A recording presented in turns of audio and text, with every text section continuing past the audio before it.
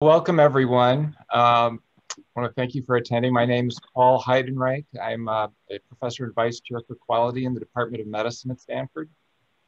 Um, and I have the privilege of uh, introducing our speakers today for this uh, February um, um episode of our Stanford Medicine Center for Improvement lecture series. Um, today we have uh, Margaret Smith and Steven Lin um, from the Stanford uh, Healthcare AI Applied Research Team who'll be speaking on From Code to Bedside, um, implementing artificial intelligence using quality improvement methods. Um, Margaret Smith is the Director of Operations uh, for the Stanford AI Applied Research Team, and uh, there works with industry partners, clinical and operational leaders at Stanford. Um, she's held higher um, uh, other senior quality positions in quality. And I think we're very fortunate to have her now working with this team and, and she works directly with us in the Department of Medicine. Uh, Steven Lin is the executive director of the research team. Um, he's also a clinician, uh, researcher, educator. Um, he is chief of family medicine at Stanford and is also the vice chair or vice chief for technology innovation in the division of primary care and population health here at Stanford. Um, so I think this topic is, uh, you know, one of the emerging uh, clear future for a, uh, QI. Um, we're very excited within the Department of Medicine uh, to see how we can use this to improve quality. Um, so I'll turn it over, I think, to Margaret. Um, we're looking forward to this presentation. Awesome. Thank you so much, Paul. I really appreciate the introduction. I know Steve and I are thrilled to be here to be chatting with everyone and the entire improvement community at uh, Stanford Medicine. Um, before we get into our presentation, we actually wanted to start with a, uh, a short video um, that we put together. As Paul mentioned, um, our, our, team is in the Department of Medicine, and we fairly recently launched uh, the, this team. And so, as part of that launch, we put together a launch video, um, which we think does a really nice job of sort of articulating who we are, uh, what we do, and why we exist um, before then using the rest of the presentation to do a deeper dive into our methodology, um, what's inspired that methodology, and and then walking you guys through, actually, as we go through that methodology, uh, an example of one of our projects where we're partnering with an external technology company uh, to develop an AI-enabled solution for a problem that's um, uh, very cl clinically relevant, I think, right now for Stanford. So um, and then we've obviously um, budgeted for plenty of time at the end for discussion questions that we're hoping can be can be very dynamic. Uh, so with that, given my sound issues a minute ago, I'm very much hoping that my sound works on this video, but if not, we will adjust.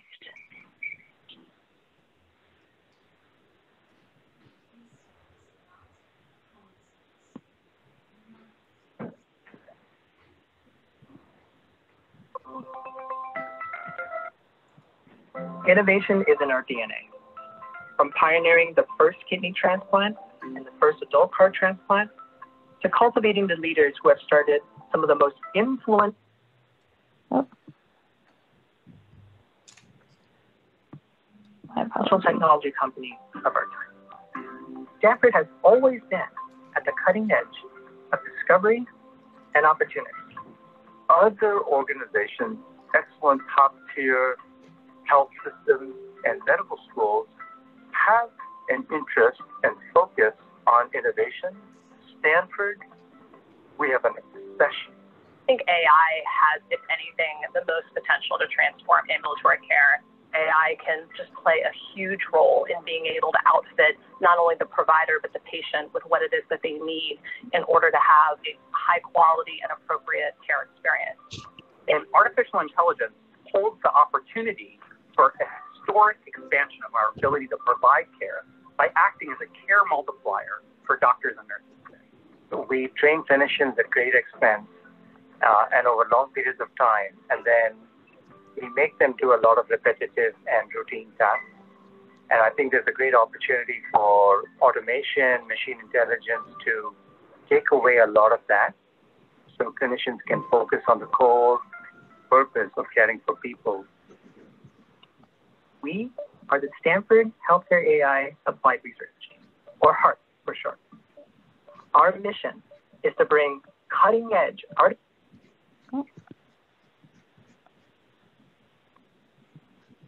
Artificial intelligence technologies from code to bedside in support of the quadruple aim. Our singular focus is on studying and solving practical problems in healthcare today using artificial intelligence by empowering physicians to provide better care, deliver better patient experiences while lowering healthcare costs. If you consider the world of drug discovery several decades ago, there was this enormous gap between scientists in the lab making breakthrough discoveries and the physicians at the front line treating patients at the bedside. And it wasn't until the concept of translational that we were finally able to realize the potential of those life-saving discoveries by moving them from bench to bedside. The exact same problem is happening in healthcare AI today, and that is why I created HEART. We are at a time in healthcare where data is ubiquitous. We have access to cloud computing. And so novel computational methods such as artificial intelligence, machine learning, deep learning have all really changed the game of medicine. The simulation lab is really a big step forward for the Department of Medicine, for Stanford Medicine, because it's really going to allow us to think about how do we put these tools into practice? Can we mimic a clinical setting and begin to think about, with all the tools that we now have available, can we take better care of our patients? I think our simulation labs will act as a unique venue where we can more easily involve patients, health system staff, and students in the process of designing and developing health AI technologies, allowing them to provide their insights to health technology companies and research teams. We also have two real world simulation exam rooms that have state of the art simulation hardware and software that allows synchronous observation and analysis in a command center observation room that is immediately adjacent to those simulation rooms that you can watch and observe live during a simulation. The audio and visual data is automatically going up into the cloud, and that allows for immediate playback as well as future analyses to understand what was going on during that simulation and how that can inform future iterations of the technology as well as the workflow surrounding that technology. One of the tenets of quality improvement is going to the process to observe the Gemba and having a simulation center allows us to do that in the context of a healthcare setting that doesn't necessarily take away from or impede clinical care. At Heart, we take a highly multidisciplinary approach to our research, drawing on methods and techniques from quality improvement, design thinking, implementation science, as well as human factors engineering. It starts by first defining a clinically relevant problem that matters to the patient, provider, or health system, and then assessing whether or not an AI solution would help or add value or help solve that problem. The barriers to get new procedures, new workflows, new technologies, and AI into an actual clinical setting are actually very high. It requires consenting patients, having a controlled environment, not disrupting care in a way that can be harmful, so having a facility where those activities can be simulated is incredibly valuable. It also gives us the opportunity to trial different technologies, different technologies together, and different workflows. So the flexibility of the space itself just has infinite possibilities as we partner with others to transform the ambulatory environment of tomorrow. And I think it enables an ecosystem of working with uh, partners and newer companies that would be really impossible in an operational framework. And now with this simulation lab, we have an environment and a model that will help us translate which systems are most useful and will help us improve the care of our patients. From code to bedside. That is our vision.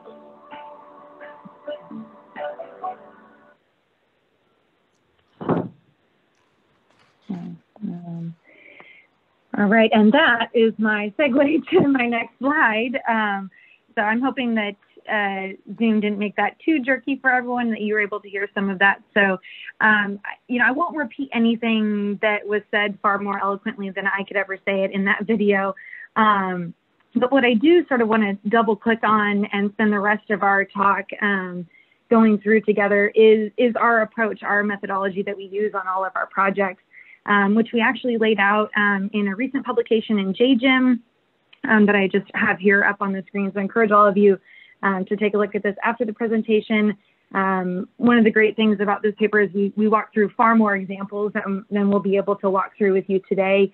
Um, but I'd like to just sort of first start with the why and sort of what led us to start thinking about a different approach to uh, AI applications in healthcare.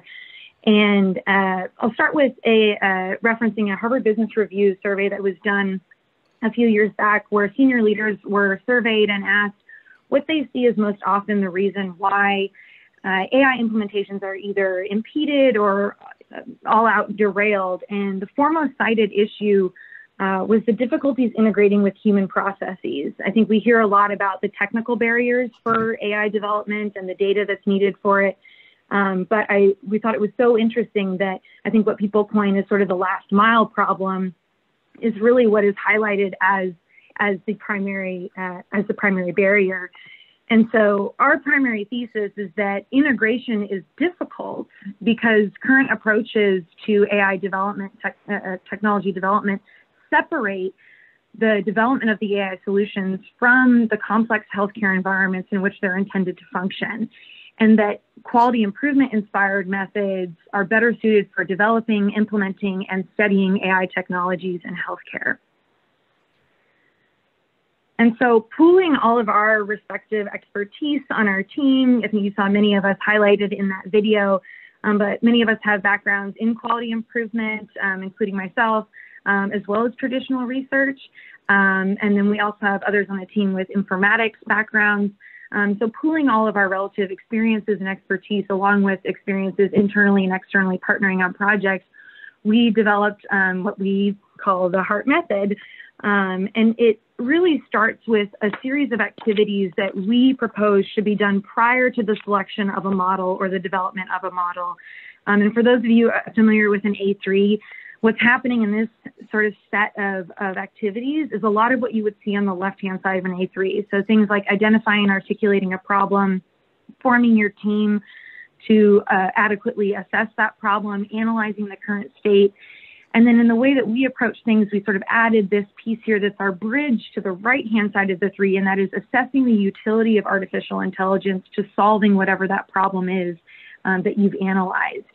Um, and so that bridge to the right hand side then are the activities that we propose should be done concurrently with model development and technology development that then is enabling the process. And those activities are designing that clinical integration workflow and then doing the iterative testing prior to broader implementation and evaluation. And so just to really bring this uh, methodology to life, we want to take you guys through an example of a project that we're currently working on with an external partner, um, all the way through from identification of the problem to the uh, planned studies that we have coming up for that project that um, very much fall into the, the PDSA framework in that final activity. So I, I don't think I necessarily need to sell this group on, on the merits of, of articulating and identifying a clear problem that matters to a patient, provider, or health system. And so I won't belabor this point too much. Um, I'll just jump into our, our example. I'm actually going to move my face over here. Um, and so we started with the problem of a, of a high number of ambulatory sensitive emergency department visits in primary care patients diagnosed with chronic diseases. And when I say ambulatory sensitive emergency department visits, these are visits that are categorized as things that perhaps could have been handled in the outpatient setting and may point to an opportunity for better management of patients if they are um, ending up uh, uh, acquiring this care in the emergency department rather than it being handled um, in the outpatient setting. Um, so just adding a little bit more data to that problem, when we look over the last couple of years at the different types of ambulatory sensitive admissions to the emergency department, the top two categories we see are diabetes related issues and heart failure. And when we look broadly at the population of patients that uh, comprise patients that are coming for ambulatory sensitive admissions, half of them have heart failure, half of them have diabetes, and two thirds of them have hypertension. And so, with this problem in mind, we started the work of compiling and assembling the team. And for a project where you are toying with the idea of an AI-enabled solution, it's important to involve those techno technological expertise and partners early on from the very beginning in a project. And so for our work, I mentioned we partnered with an external company on this, and it's Codex Health is the name of the company. And they really provided that AI expertise, those data scientists that partner internally with our research IT data scientists on this project. Then I would say the majority of the project team is process owners and subject matter experts along with our sponsors. So we had um, physicians, clinical pharmacists, educators, and many others, along with quality improvement, population health, and medical informatics, and then primary care and health plan leadership um, as, as our sponsors.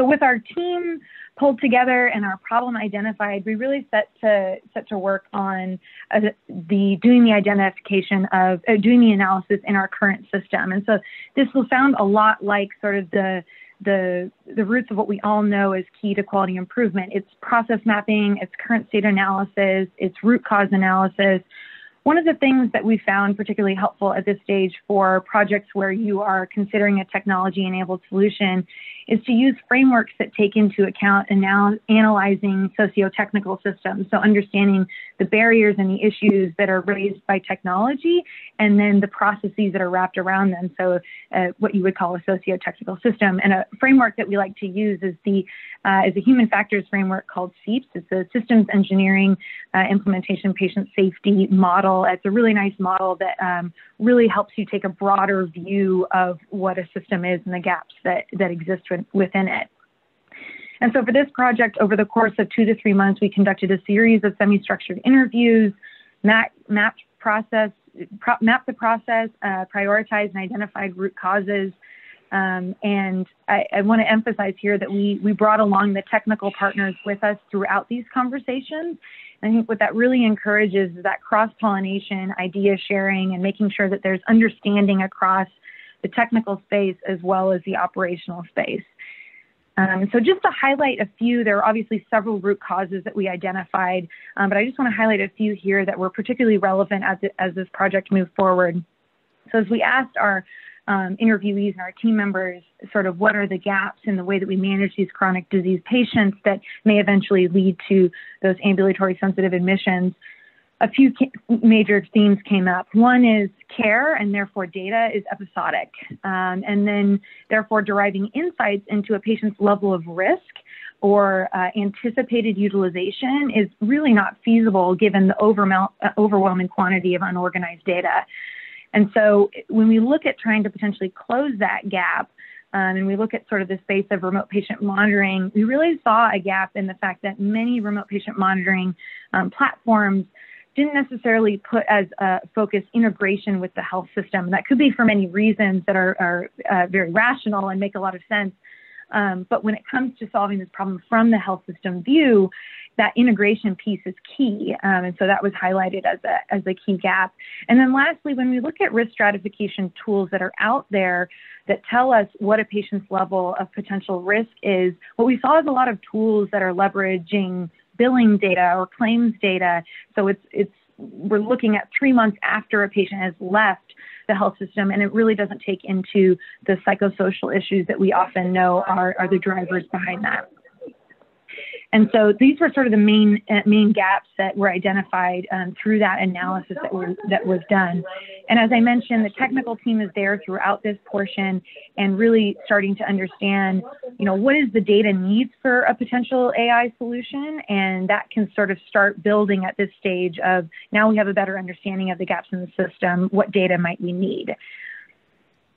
So moving into our bridge, as I said, from the left-hand side of the A3 to the right-hand side is this assessing the utility of AI-enabled solutions for the problem that you're analyzing. And it really starts with um, then translating what we listed as root cause analyses into key drivers or um, you know, you could call them key features for success. I like to think of them as sort of a, a high level view of what the design specifications are for your future state when it comes to technology and workflow.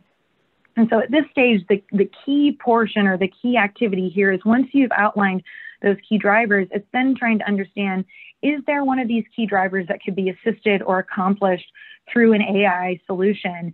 is there an AI task embedded within one of these key drivers? And then what type of AI? Is it classification? Is it prediction? Um, and so that's really sort of the, the key piece here of trying to assess whether there is some utility to AI to solve your problem. Um, there are obviously many other factors to then also trying to determine is this a build versus buy and, and all of those sorts of things.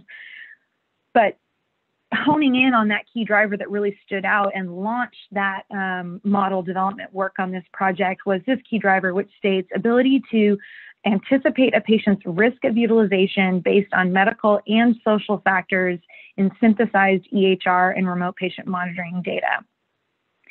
And so that, as I mentioned, was really what launched the work of model development and clinical validation, sort of put that into high gear um, as we've sort of now been informed through this whole process of understanding current state.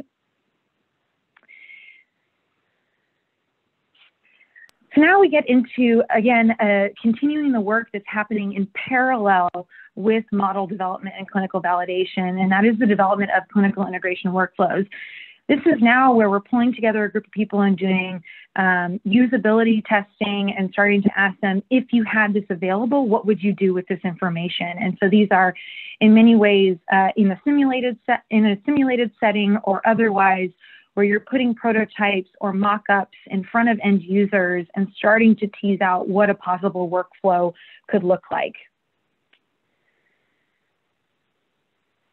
And the really the goal with this piece here is to strike a balance between feasibility, acceptability, and actionability of what the workflow is.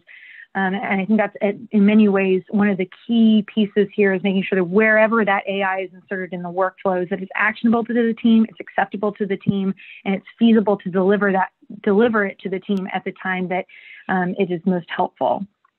And so for this project, we did a series of interviews, and those are ongoing, where we're drafting the initial clinical integration workflows. And that is a combination of what are the people doing, as well as um, what does the data flow look like in order to, to um, realize the solution. And so I want to actually take you guys very briefly through uh, what the what the first draft of our clinical integration workflow looks like for this.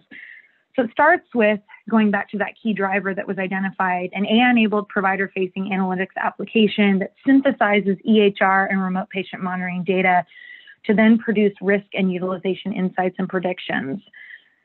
Adding in that EHR piece, it will require a level of health record data to come in, and that is unstructured and structured health record data that is feeding into to this AI engine. The second piece is the remote patient monitoring piece, which is given that we wanted this, uh, a key driver was integration with the health team, there was building out a customizable web application that can be manually uh, generated by the clinical care team that includes pharmacists, um, educators, even the provider to go in and translate a care plan for a patient into a patient facing remote patient mobile application that's synced with Apple Health, et cetera, that then creates that data pipeline. Maybe it includes CGM data, weight data, activity, whatever's been customized by the care team that then feeds into that platform that is then generating the insights that are actionable for proactive intervention and protocols employed by the team. And again, as these design sessions are happening and we're iterating with the group on what, what these workflows might start looking like, the models are being developed and clinically validated. Now we get to the really fun part where we are starting to think about how do we iteratively test this and start to prepare for live pilots and even a broader implementation and evaluation. And it's important at this stage to use frameworks. Um, obviously, we, uh, because of the QI influence to our work, we use the Plan, Do, Study, Act cycle quite a bit. We also use um, UTAUT, which is the Unified Theory for Acceptance and Use of Technology, is another framework to guide our analysis as we're moving through iterative tests. But for this project that we're, we're running the course through, we are now currently designing a series of studies where we test and improve data pipelines and workflows in our simulation lab, which you saw highlighted in our video. Um, all of that then building into test workflows in a series of small prospective pilot studies again with the idea that you are planning you're doing the study you're understanding how what went well what didn't and then making adjustments as needed all before um, an operational study to really understand longer term clinical effectiveness and, and changes in outcomes. The goal is obviously to have models developed and clinically validated prior to step number three um, in this. And so that is a deep dive of, of our approach. And obviously we um, we have many other, other applications and, and not all of our partners are at, at the same stage. Um, but that is a from end to end uh, uh, an, an, illustration of how we employ this method with with our partners. And so before we jump into questions and discussion, and, and I'm hoping we can um, hear a lot more from Steven and his thoughts as well on everything that we're doing, but excited to hear from, from everyone your experiences as well. I just wanted to quickly highlight all of our internal collaborators as well as external collaborators um, we're sort of all on this journey together to try to bring AI from code to bedside. Um, so I just wanted to highlight them all here and uh, and thank thank everyone for for having us. So I, at this point, I will uh, open it up for for questions and comments. Thank yeah, thank you, Margaret. You know that was great. A lot of material, and I saw many of you. Uh, saw me. Uh, Lisa Freeman said we're going to be putting all of the, the introductory video and other stuff available at the SMC website, SMCI website. Um, I do want to let Steven, if he's got um, some comments, if you'd like to make them at this point, um, why don't, um, you know, we'd like to hear any, uh, any thoughts you have on what Margaret presented. Sure. Um, as I said to Lisa at the beginning, uh, Margaret's really the star of the show, and I'm just lucky to be here, just backing her up. Um, I think uh, she she demonstrated one uh, one of the ways that we're thinking about uh, AI implementation work, which is that traditional research methods might not give us the complete answer, and that quality improvement as a general approach and as a methodology is uh, perhaps the preferred way to go. And so we're definitely uh, leaning in on quality improvement when it comes to all of the work that we're doing now with all of our internal and external partners.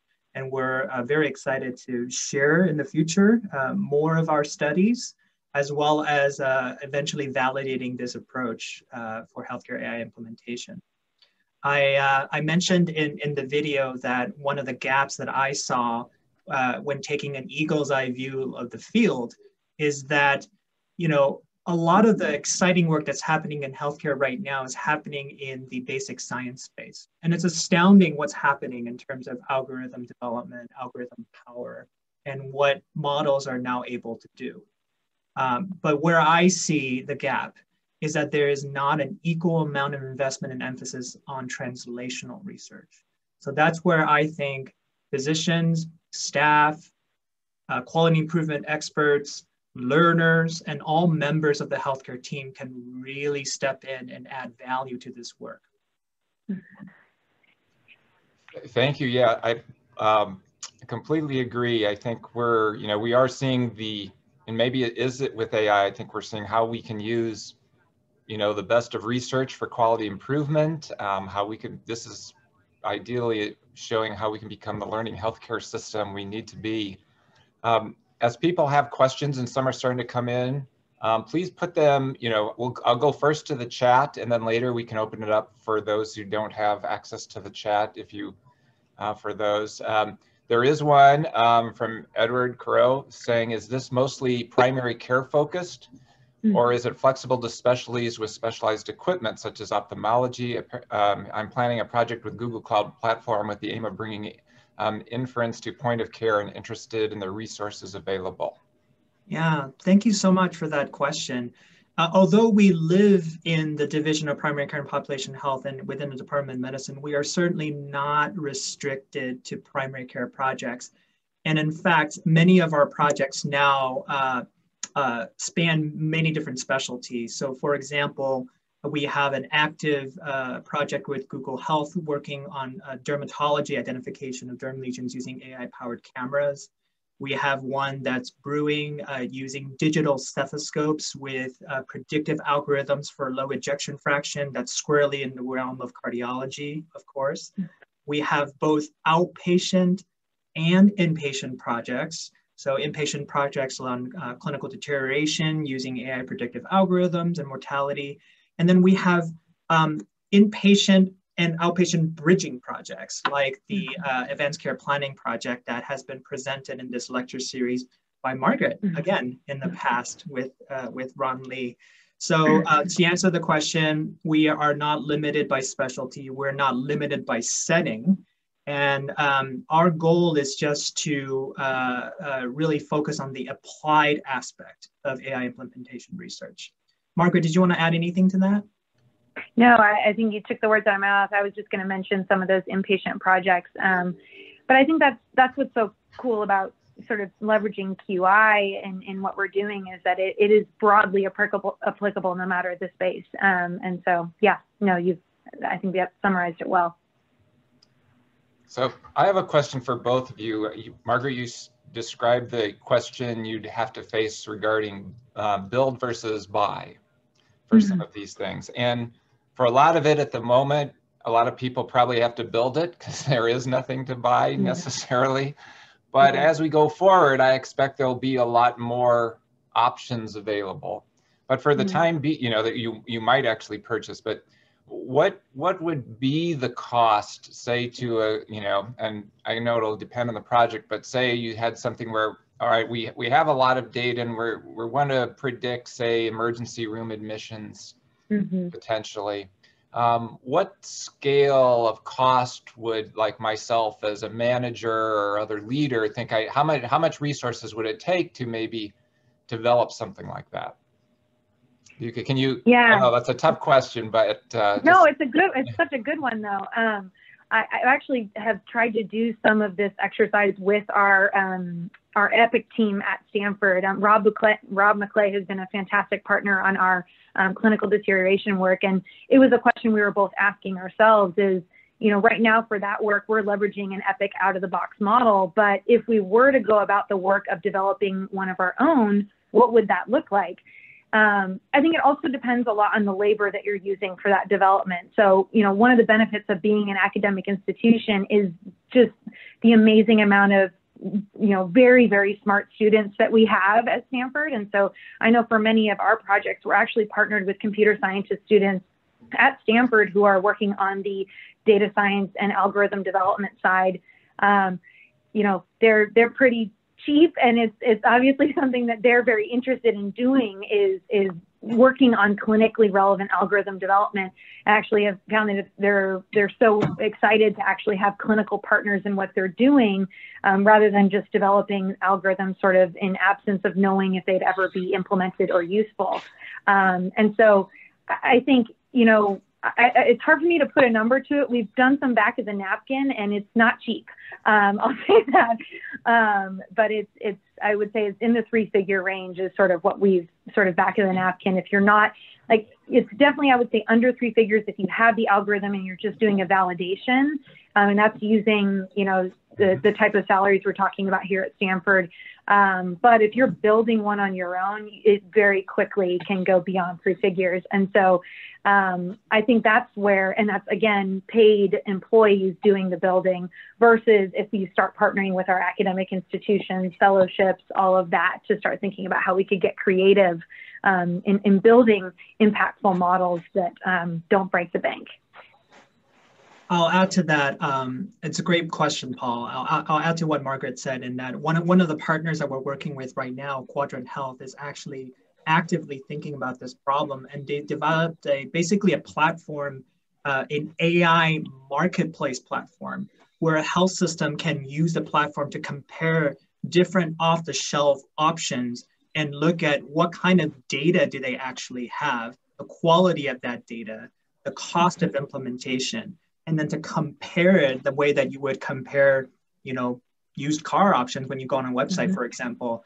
And so, um, uh, but but the implementation costs is, is is such a great problem because it's not just the IT costs involved with develop, implementing the model, also the labor costs with the human-driven processes that surround that algorithm that sometimes get forgotten because no algorithm can work on its own. You still need human driven processes and teams uh, around it to make it work. And so um, it, it's still an actively researched part of the field that, um, you know, hopefully in the next couple of years, there'll be a little bit more insight.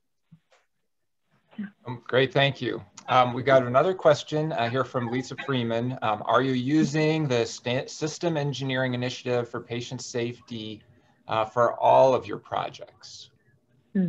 We're definitely using that framework for some of our projects. And in fact, yeah. like, for example, the ones with uh, uh Google Health, they're very much um, a fan of this particular framework when it comes to uh, uh, the work and safety related concerns that we want to study. Um, we mentioned the UTAUT, that's a little bit more for feasibility and acceptability. And there are many different other frameworks, uh, uh kind of like this, that look at different types of dimensions. And so, mm-hmm. yes, the answer is yes. Thank you. And uh, I know uh, David Larson mentioned he has a question. So David? Yeah, thanks, Paul. Uh, Margaret and Stephen, this is really fantastic, um, exciting work. Thank you so much for sharing. Um, and you're you're uh, you're speaking my language, so you're you're hitting me right here. So thank you. So you you've kind of already touched on this, and maybe you can say a little further. Um, I think uh, very quickly we're going to be victims of our own success, right? And uh, we're already seeing this massive proliferation of algorithms. Uh, we've got to figure out how to manage them. We've got to figure out how do we uh, let the thousand flowers bloom without overwhelming our systems, right? Yeah. So I'd love to think about you, you to tell us a little more about how you're thinking about kind of overall systems management, how you allow evolution and creativity without stifling it, but at the same time without it just becoming chaos. That's such a great question, David. I know. if I if I had the answer to it, the single answer to that question, I think uh, I think that we would be all rolling in the right direction and not have the wild, wild west that you're describing right now? I, I don't know if I can answer that question, but I'll give you my personal opinion on sort of this, uh, you know, you described proliferation of algorithms that are out there. And, uh, and my, my sort of uh, uh thoughts about this is we need to make sure that we're not just creating algorithms because it's technically feasible to do so and it's cool and we're chasing the shiniest biggest trophy that you know we think is out there which for a lot of health technology companies these days they think diagnostics is is where that lies but what i'm actually really interested in is some of the you know not as sexy things to, to, i mean like for example uh, how do we coordinate care better within a healthcare system that is fragmented and, and siloed uh, and the, the, the, the example that i always bring up is we don't really need another algorithm that can diagnose brain cancer better than the neuroradiologist. The mm-hmm. neuroradiologist does that really, really well. And if you try to focus narrowly on problems like that, it's like trying to put out the candle fire when the entire mansion around you is burning down. It's just not focusing on the problems that really plague the delivery of, of medical care today, which is really not about fancy diagnostics or treatments, but really about how do you make the whole machine work better and work smoother. And that's exactly what we do in quality improvement. So what I'm actually super excited about are um, automated solutions for things that uh, like prior authorizations for appointments, for inter-visit care management, for patient navigation. And so if we can if we can devote more energy and resources to thinking about how do we use technology and enabled solutions to navigate patients through their healthcare journey better, to improve adherence, to improve engagement, to focus on health equity, uh, all of these things I think are going to do more than some of these shiny algorithms that people are putting out there. I know gener they generate a lot of great headlines and they attract mm-hmm. investors, but as a physician, it's not very exciting to me. Well, if I can follow up, I love all of that, every word of what you just said, especially the part that that the the algorithms aren't going to be replacing radiologists. That's really really great. It, it's really fantastic. Personally, for me, I would love to get an algorithm that lets two systems talk to each other, right? All those little things that the last mile problem, like you talked about, that just you know that's the real problem that we're facing. Yeah. Love yeah. It. Thank you. You know, low hanging fruit, uh, easily automated incredibly cumbersome, incredibly repetitive, highly emotionally stressful problems that that maybe it's not even AI that we need. You know, it could be a fairly low tech solution, but I think that AI can have a huge role in just making the system work better. And I, I totally agree with you, David. Thank you. Thanks, David. Um, another question came up about the cost and are there ways to, are there grants or other things available? I think it was mentioned that the Center for Artificial Intelligence in Medicine and Imaging has mm -hmm. some credits and things available. Do you have any other suggestions? People might, you know, any any res local resources or other things people might be able to take advantage of on the um, uh, on the university side, there's a uh, multidisciplinary organization that some of you might know called the Human uh, Centered Artificial Intelligence uh, Center. So mm-hmm. uh, that's Fei Fei Li uh, and and and folks there. And so they they they have um, seed grants, and then they also have you know second level lab maintenance grants that they offer from time to time on an annual basis, or sometimes more. So I, I, would I would check it out. It's called HAI or Human Centered Artificial Intelligence. Yeah. Okay. Um, thank you. So I think another important question I think brought up by Lisa um, regarding health equity. So um, you probably have heard this as well. You know, there's definitely concerns by um, people that when you leave problems to AI, um, we get unexpected um, disparities that result.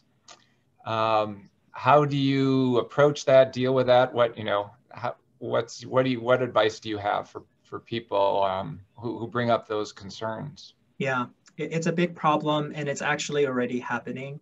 There was a uh, seminal 2018 study that was published uh, by an MIT researcher by the name of Joy Buolamwini, who looked at commercially available facial recognition technologies that are out there and found that uh, amongst the, uh, the, the, the most uh, popular facial recognition technologies, they were far more accurate on men than women, far more accurate on white individuals than black individuals.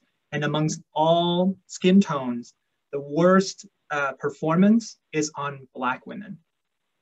And these facial recognition technologies are actually already being used at airports, uh, with you know CCTV cameras in the communities uh, for law enforcement purposes. I mean, they're already deployed uh, uh in, in many parts of the country and many parts of the world.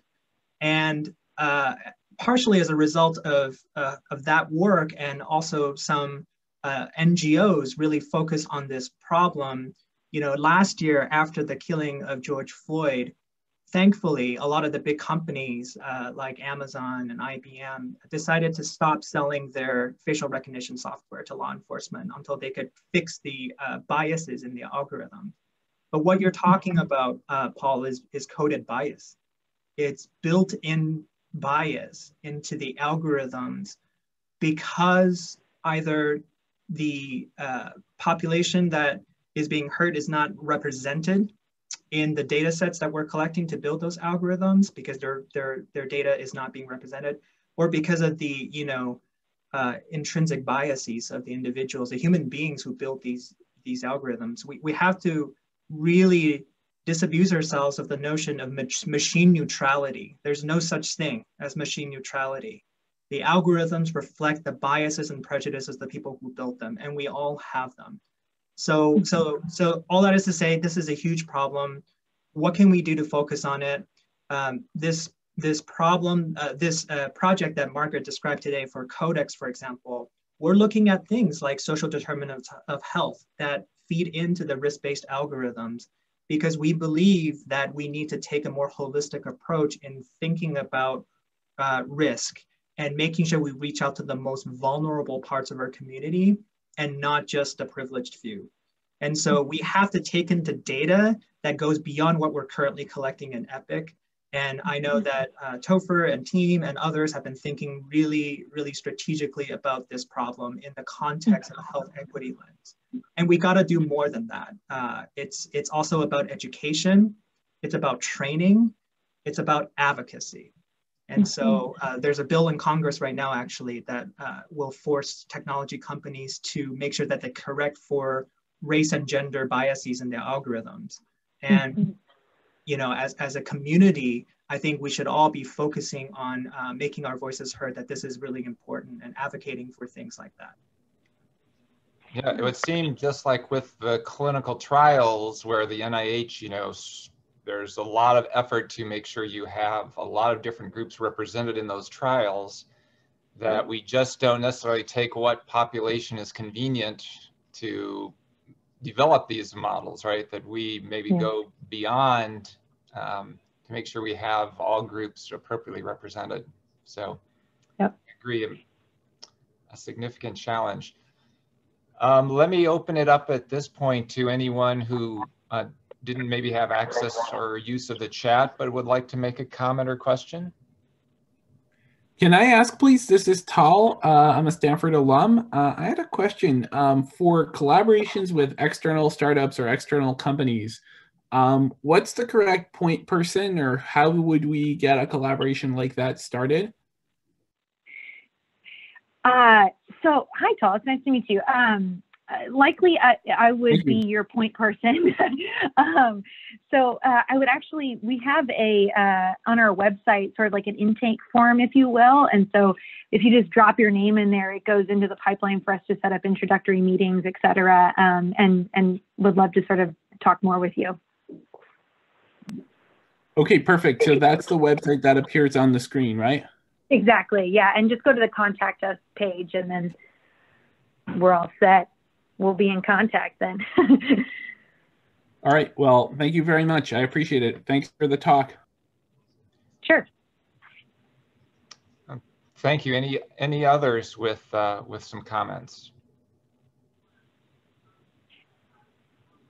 Oh, and I see Stephen uh, just put the link also into the chat for those who are looking there.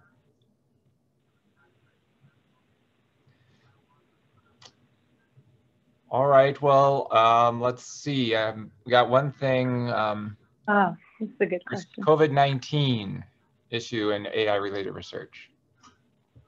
Yeah.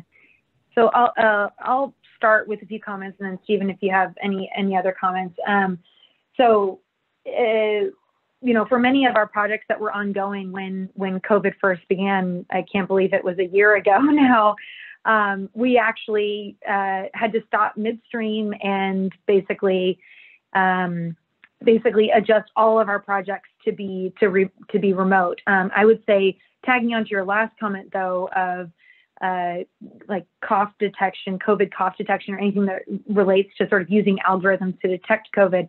Um, I know probably the most relevant project to that that we're doing sub-analyses on is our clinical deterioration work led by Lisa Shieh, um, partnered with Ron Li and many others, um, as well as the whole nursing crew at, at Stanford Healthcare. Um, but leveraging an, a, a, an algorithm within Epic that predicts clinical deterioration is defined by RRT code or ICU escalation.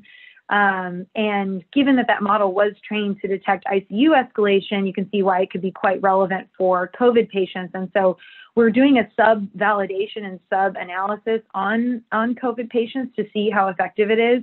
That analysis has actually been done at other institutions and it's proven quite effective. The very same algorithm within Epic, I think it was Michigan that did it. Um, and we we're just we're doing a similar analysis for, for ours. Obviously, we know algorithms perform differently on different populations, so we're trying to test it within ours. Um, but uh, the other piece too, Stephen, did you want to talk about the, the study, any of the other studies that we have going related to COVID? Sure. Um, just quickly, you know, some of the studies that we're doing now that require patient uh, uh, involvement we're doing it in a virtual format. And so um, that bypasses the need to bring them into our clinics and uh, some of the COVID related physical distancing protocol restrictions related to COVID. So a lot of it is now um, e-recruitment, uh, vir virtual uh, Zoom type recruitment, and then we can even do things like uh, do video recordings of patients via Zoom uh, for their audio and video data when, that we build into models, for example. We're, we're doing a depression screening uh, project using computer vision, where all of that data is being collected through Zoom. And so uh, mm-hmm. we used to bring them in to the clinics to actually put them in front of a camera, but now it's all mm-hmm. uh, uh, done remotely. Um, so that, that's been a change because of COVID. And then um, there's also newer uh, ways of recruiting patients now. Uh, in December, Google Health launched this new uh, Google Health Studies app, which allows you to recruit uh, community participants for studies uh, on a very large scale. Um, and uh, they're partnering right now. Their biggest study is with Harvard uh, and Boston Children's, and they're doing like a COVID study as well using the Google Health apps. And I think they got like 7,000 participants consented within like a month or two or something mm. uh, impressive like that. So there are more uh, options now for community engaged research through uh, technology enabled means. Yeah, the other thing I'll mention too, because I just saw Allison's comment, um, is sort of an exercise that we're doing with all of our projects is only having them engage with patients. I mean, very few are we ever going to be in clinic. I would say it would have to be there's no other way to do this study without accessing the clinic.